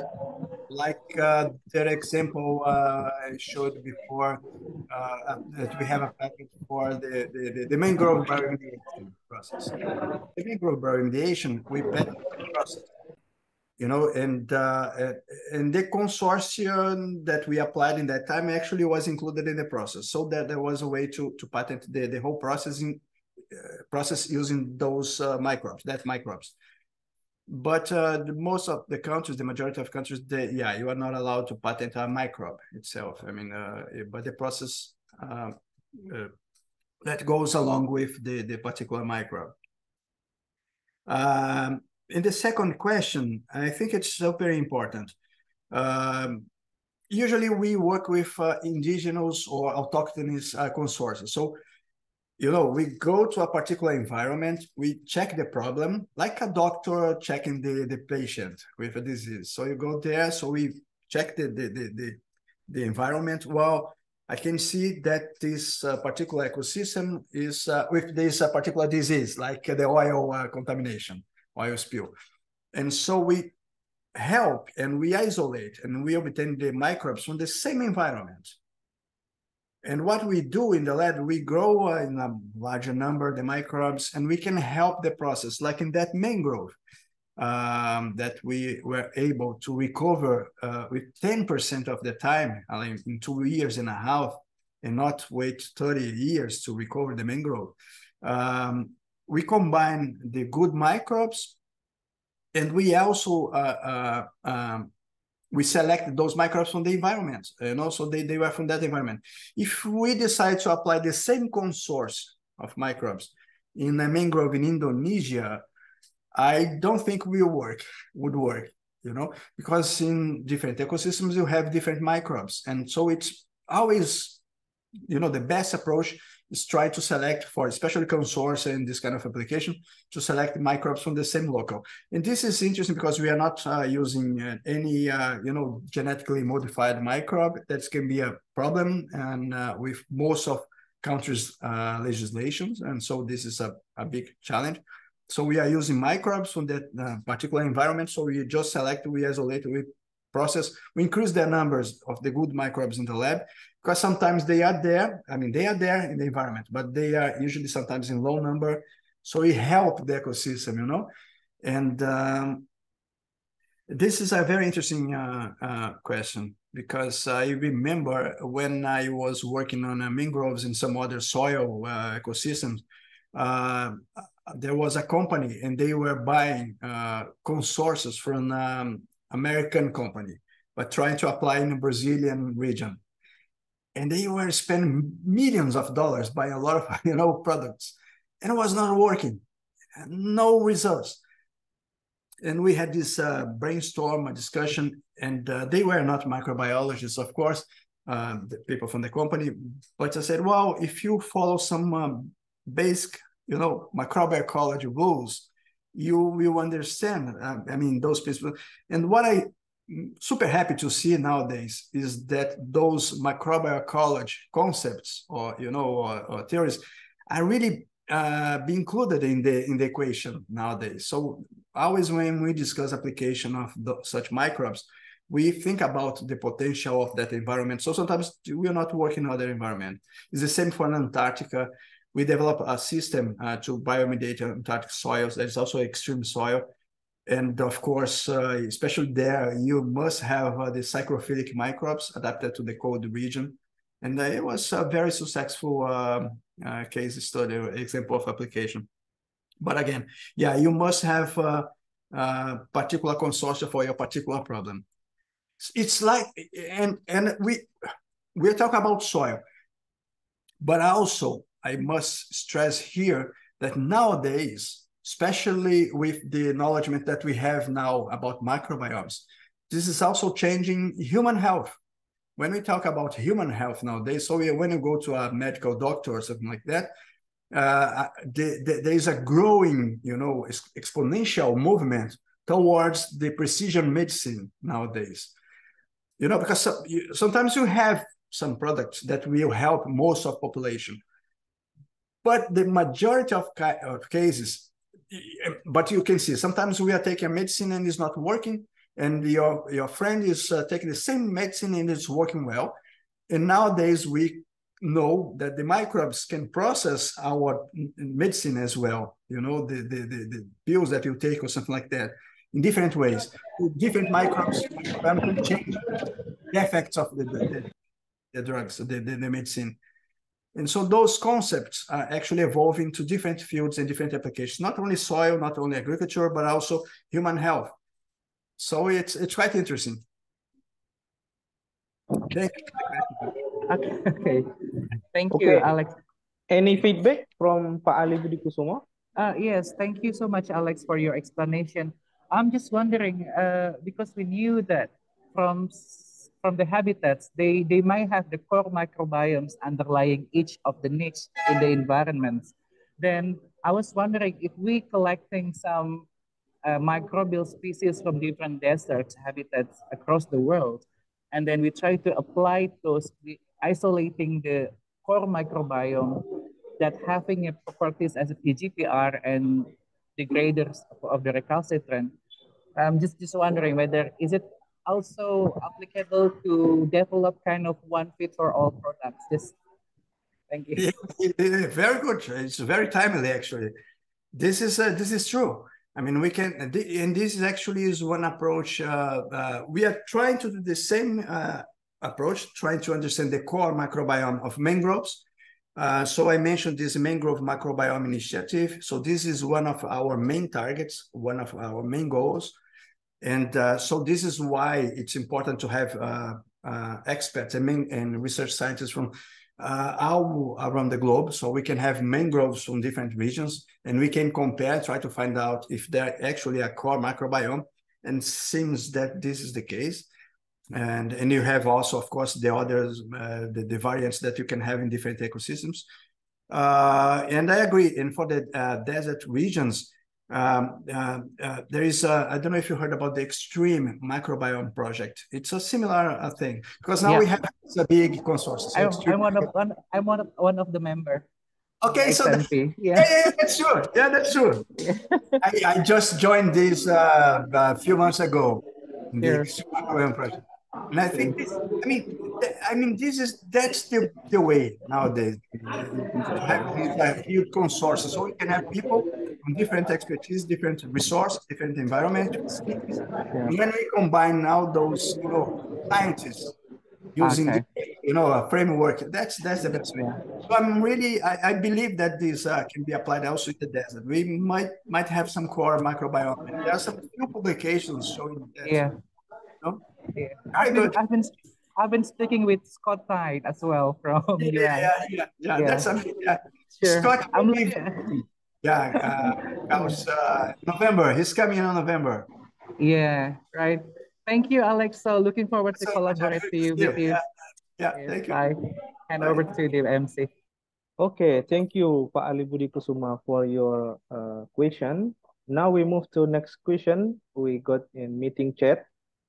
How is the PGPR mechanism capable of degrading oil through biostimulation treatment?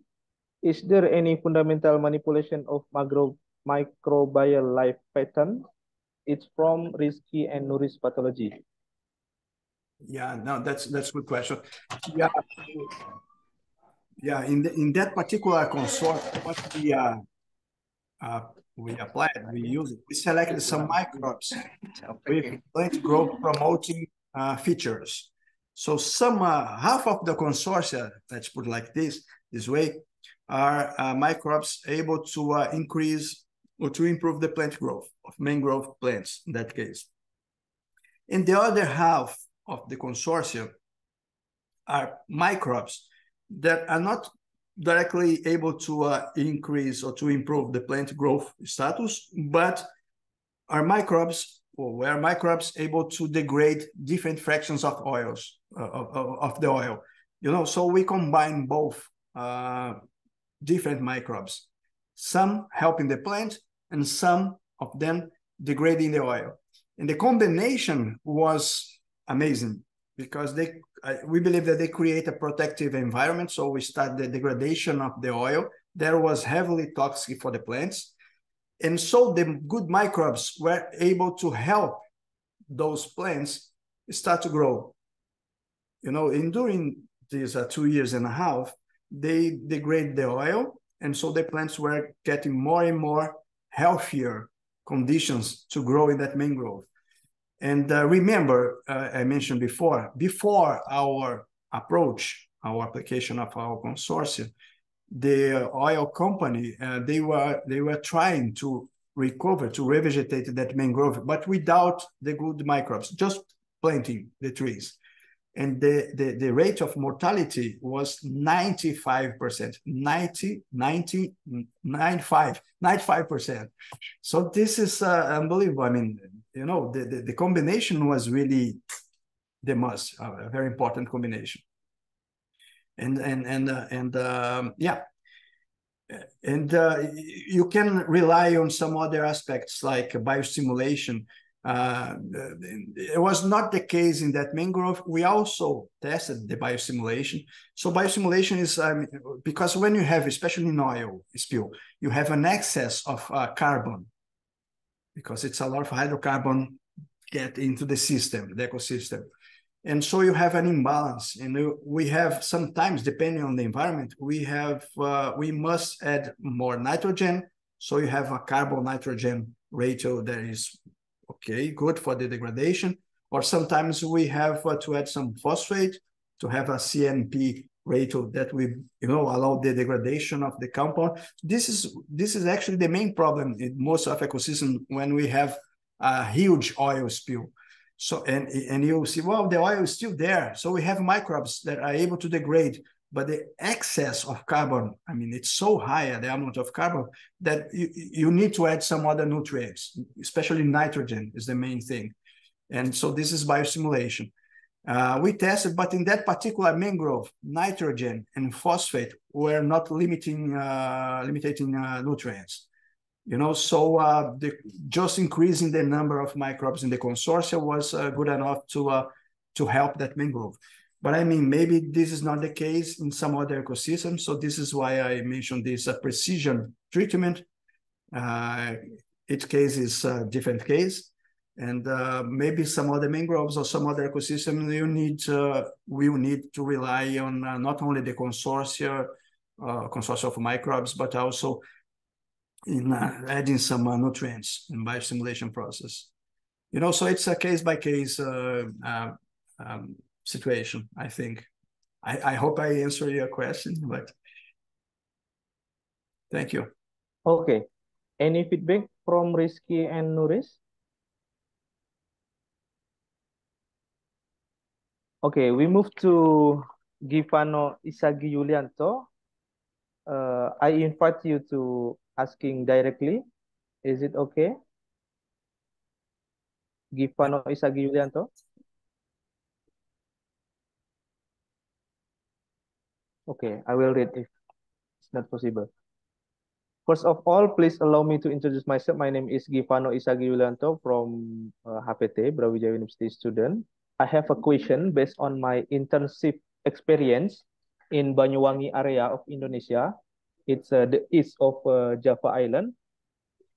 Uh, with treatment using mic microbacteria with the product name MA11.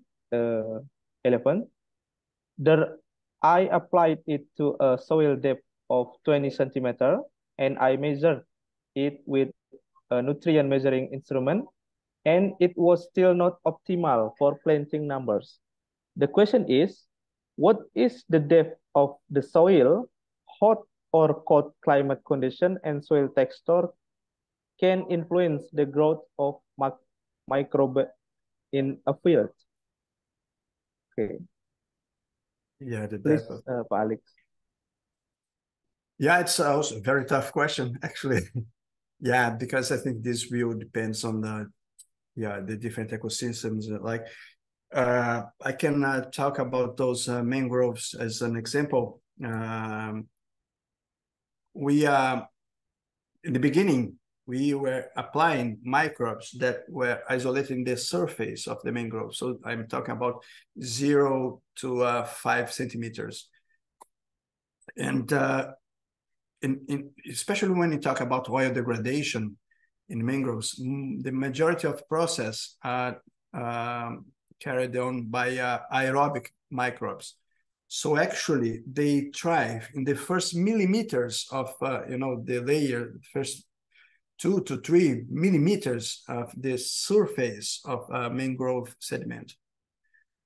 And uh, when we start to dig deeper, you start to have more anaerobic process. And we we, we now we are getting a lot of information about those processes, but uh, it's still uh, a, a, long way to go. We know that uh, some microbes they, they, they can uh, uh, process in different uh, ways, and they can degrade oil, for instance, using different metabolic pathways in anaerobiosis, anaerobiosis. And uh, our last uh, consortiums, we are also applying some of those anaerobic microbes. So it's, it's, it's challenging because it's difficult to work with uh, those microbes from deep layer uh, soil um, because usually they, they, they, especially in mangroves, because they have this uh, anaerobiosis uh, process. But uh, we are able now to to to to build some consortia using also not only aerobic but also some anaerobic microbes. And I mentioned this that we also including now some uh, fungi. And uh, so far, we are still testing in the lab. We are not applying the field, not yet, but uh, there, there are some very interesting good results with some of the consortia. So we are trying to understand, because this is something that we are doing in our lab. I mean, we are not only testing in uh, CDR, it's working or not working. We are trying to understand the molecular mechanisms, you know, like applying the metabolomics and all the omics to try to uh, fine tune the mechanisms and try, because if you understand the mechanism, what, what, what is happening, what's going on there, you can maybe try, you know, to modulate or to modify or to manipulate. I don't like the word manipulate, but you can modulate uh, the microbiome in the future to have uh, your goals. But uh, again, I, I don't know if I have the answer for your question because it's a very tough question. Depends on the environment, depending on a lot of factors. But I know that when you start to dig deeper, uh, become more complex. The, the, the you know the the process when you try to, to understand. But I wish you uh, very good luck. And if you have a good results or good data, please share with me because I really interested in, you know, in those uh, microbial uh, communities that we have uh, below 25 uh, centimeters and, and so on. Thank you for your question. Very good. Okay, thank you. I believe this question is very tough because uh, yeah. Uh, depend on the aim or the methods that exactly. Uh, yeah. uh, yeah. conduct. Okay. For Givano Isagi Yulianto please uh, discuss more about this in uh, outside of our agenda maybe also with your supervisor. Uh, we move to next uh, uh, question from Adit and Afina.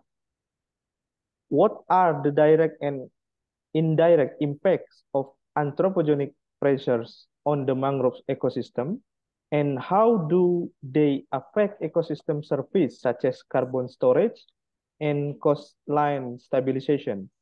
Furthermore, what are the strategic approach regarding the mangrove microbiome initiative research? Thank you. Yeah, Please, thank you. Alex. Yeah, thank you again for the question. Yes, uh, the, we are um, stressing all the ecosystems a lot nowadays, especially the mangroves. As I mentioned, it's a very sensitive environment, and the anthropogenic stress are huge.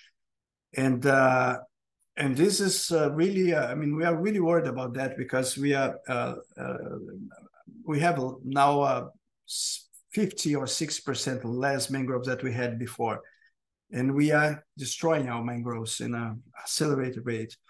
So we must uh, uh, rely on some other approach, some sustainable approach. And one important thing here is that everything is really connected. So when we stress and when we destroy a mangrove, this will also impact the coral reefs. You know, there is a strong connection, connectivity between different ecosystems. And uh, I mean, so we are talking about the mangroves. So this is terrible. The coral reefs will also be affected by a destruction in the in the in the mangrove, and so you have a cascade effect, and this will lead to uh, um, less uh, fish, less shrimp, less crab, less food, and people will starve. And uh, you know, so it's a really it's a connection that we must uh, we must see and uh, the microbes, the microbiome. So this, I mean, there are some other initiatives I know, but I mean, uh, the mangrove microbiome initiative is the first one that I believe, as far as I know, that we have, you know, different people with common goals, and we decide to have a moment together to discuss how can we leverage and the power of the microbes to help all those uh, challenges that the, the, the, mangroves, in particular the mangroves, are facing nowadays with anthropogenic factors uh, stress. And uh, the microbes, they can help a lot, I'm sure about that. And, uh, but again, uh, this must, uh, we must have strong, you know, policies like the, the governments should have a very strong policy to protect those in such environments such ecosystems. So this is the most important thing. And to build those policies, and this is my point again here, uh, we must include the microbes, the microbiome into the equation because they actually are the main players, the main you know players when you think about the biogeochemical cycles in every ecosystem, including the mangroves. So how can we talk about sustainability, conservation, restoration without microbes? I mean, there's uh, for a microbiologist, it makes no sense.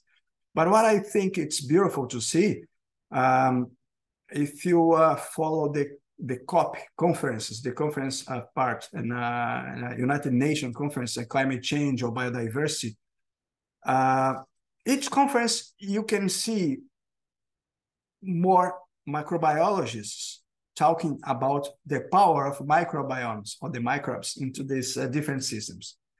And this is beautiful because it's not only about animals and plants and humans, uh, but it's also about the microbes that actually live and, and, and allow us uh, to be here in, in this planet.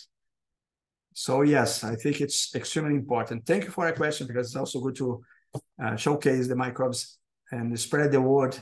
Uh, you know, anytime we have uh, the, the, the chance. Okay, thank you for the question, Afina Fitri TV from Adit and Afina. So I believe that uh, talking about mangrove, it's uh, one of interesting and important because I heard that mangrove can keep the carbon three or four times uh, com uh, regard uh, I mean three or four times uh, compared to another uh, forest region or area. So we move to next question from Farik and Salwa, pathology.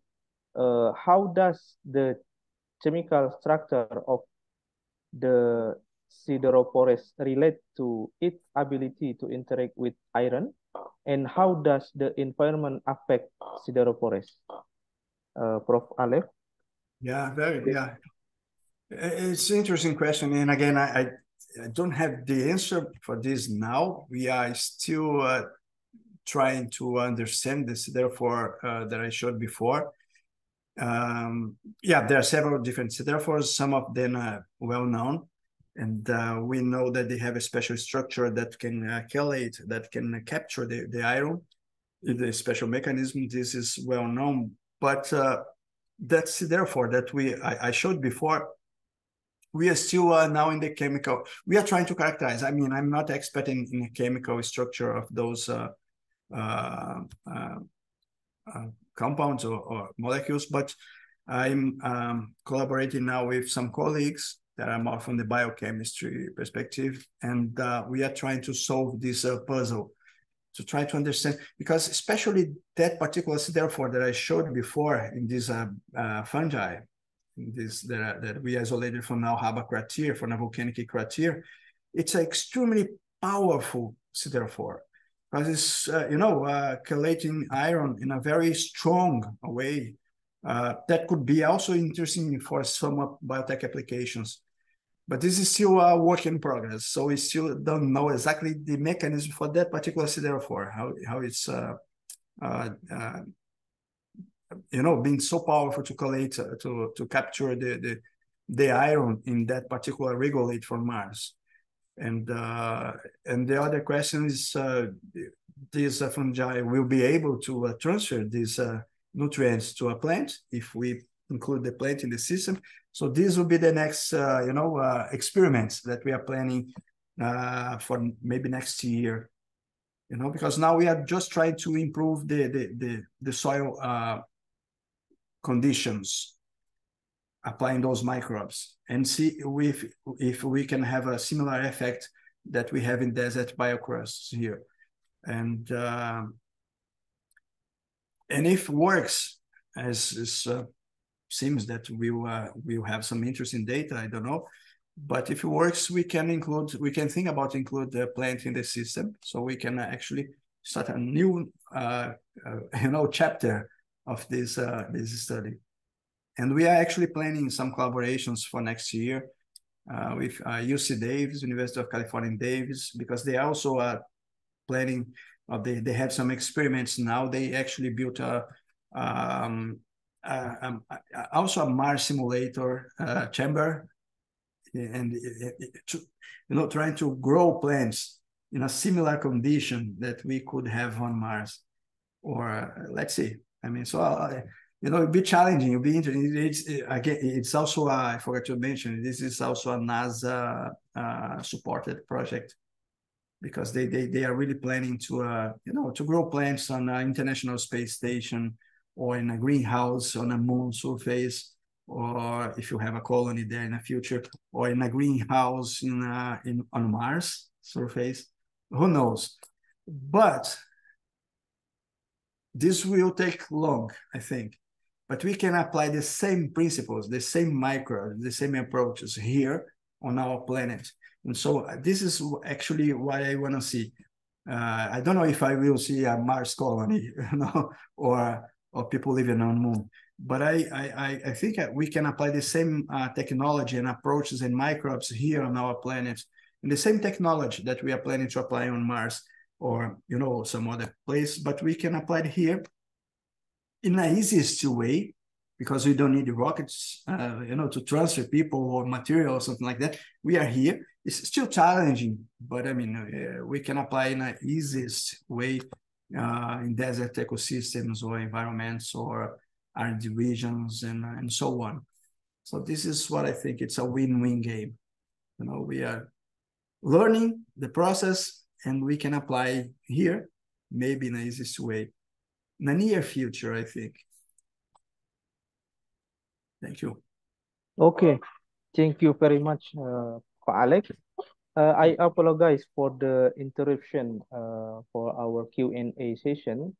Uh, I believe that, uh, and I genuinely appreciate uh, knowing, knowledge uh, transfer and informative presentation from Pa Alex and also interactive uh, Q&A yeah. session but uh, we have no approximately uh, time. Uh, I mean, uh, as we approach the conclusion of today event, uh, I would like to express our sincere appreciation uh, to Pa Alex and our all our attendants. Uh,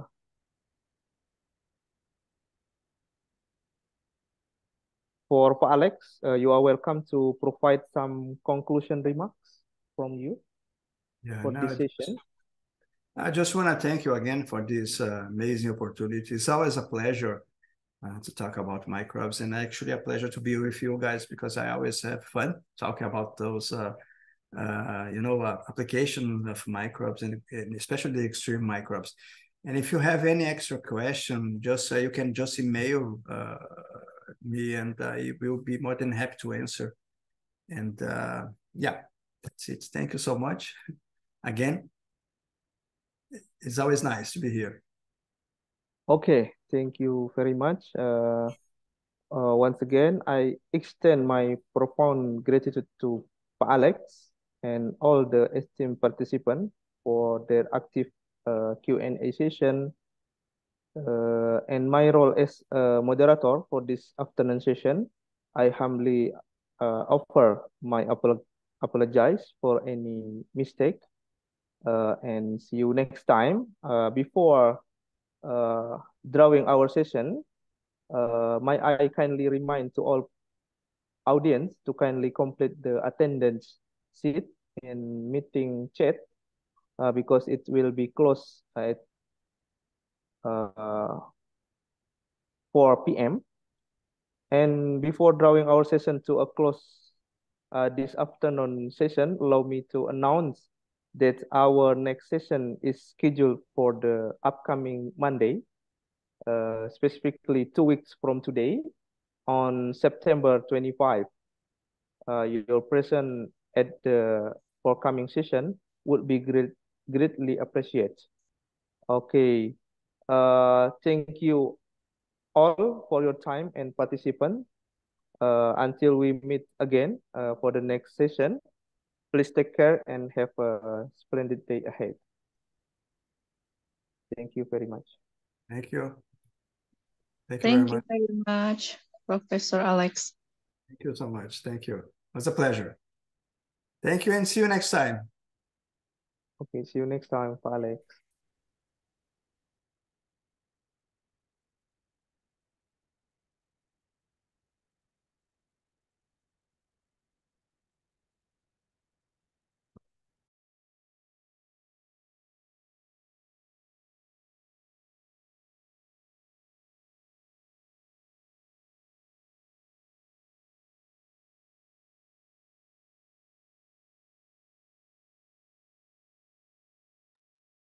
Terima kasih Pak Arif. Oke, Ibu Yohana. J, izin lab.